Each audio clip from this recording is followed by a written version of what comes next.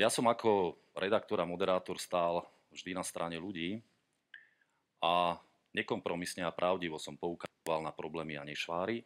Snažil som sa o to aj ako minister radičovej vlády a urobím to aj dnes večer. To, čo poviem, e, bude síce tvrdé, ale pravdivé. Vidím dva zásadné problémy v celej tejto téme e, Bratislavskej župy a kampane.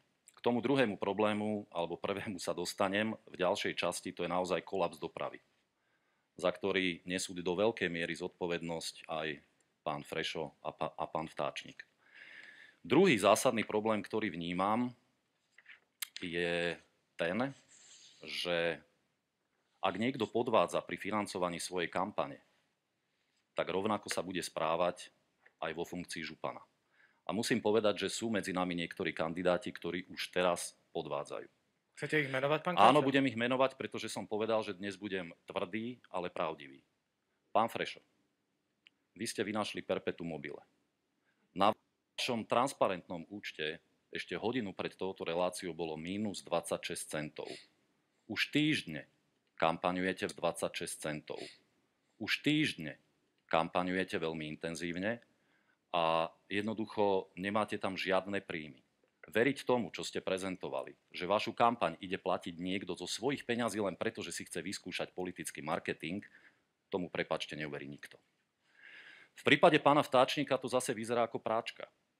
Najviac peňazí na vašu kampaň dáva človek, ktorý zároveň tieto peniaze z vášho účtu vyberá, pretože vám robí kampaň cez svoju firmu. No a vrcholom všetkého je tu sediaci Rudolf Kusy. Dámy a páni, sme svedkami najdrahšej a najnákladnejšej kampane v histórii Slovenska, čo sa týka župných volieb. Vedie ju tento pán. Už teraz je zrejme, že prekročil 250 tisícový limit. Už teraz je to zrejme a porušuje zákon. A čo je ďalší veľký problém, tají, respektíve na rovinu nehovorí, k tomu túto nákladnú kampaň financuje. Hovorí totiž, že to platí zo svojich úspor, respektíve úspor svojej rodiny. Pán Kusy nie je bohatý človek, a ja v tomto súhlasím s Richardom Sulíkom, že tento prípad financovanie kampane nám tu pripomína iného politika, Radoslava Procházku. Vieme, ako to dopadlo. Som si vedomý časového limitu, len toto považujem za najzasadnejšiu vec celej tejto témy. Vidím, že niektorí kolegovia mi dokonca aj prikyvujú. Ale vyžaduje preto, si to aj preto, reakciu.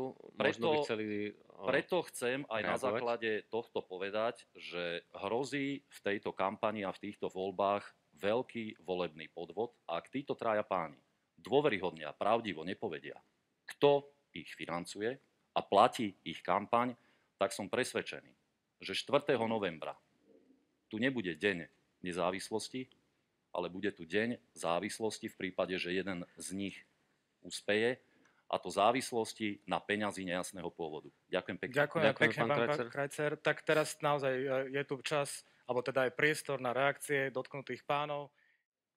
Ja sa zastačiť nenechám. Ideme ďalej. Skúste povedať pravdu. To bude jednoduchšie.